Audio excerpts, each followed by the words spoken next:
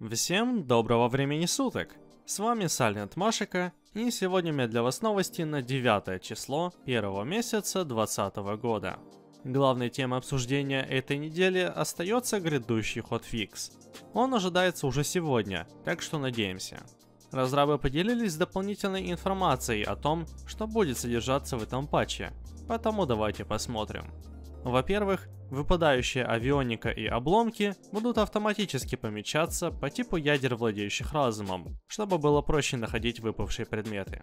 Что касается увеличения радиуса вакуума в космосе, то разрабы все еще раздумывают. Однако планируется ввести выпадение боевой авионики солидных истребителей в Проксиме Вуале, так что фармить вещи будет проще. Еще должны починить отображение и уничтожение лечащих облаков в этой локации – на данный момент с ними расправляться может только хост. После этого фикса разрабы будут думать, что дальше делать с этими облаками. Также должны починить проблемы, связанные с использованием удаленной починки корабля, что доступно за 10 ранг инженерии. Среди фиксов неожиданно Висп получила немного внимания.